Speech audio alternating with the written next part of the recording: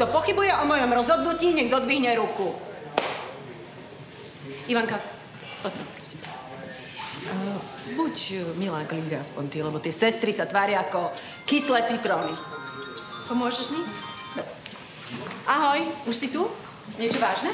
Aha. Valéria, pracujeme, čo je? Výborne. Ďalšia, čo má v nemocnici protekciu.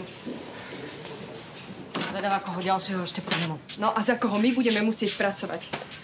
Prepašte, môžete mi to vysvetliť?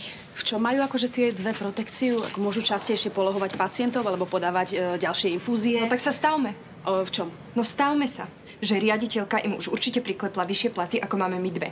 Najprv svojej cerke a teraz aj pošahanej Linde. Prosím vás. A my, čo tu roky drieme za pár šupiek?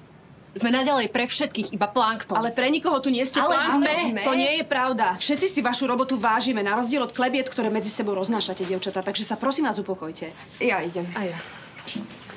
Super. No, oni to len tušia, ale ja to viem.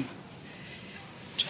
Ivana má na návrh riaditeľky naozaj vyššie osobné ohodnotenie a Linde priklepla automaticky vyšší plat, pretože má dlhšiu prax. Áno, ja som to testovala, ale bolo mi to na nič.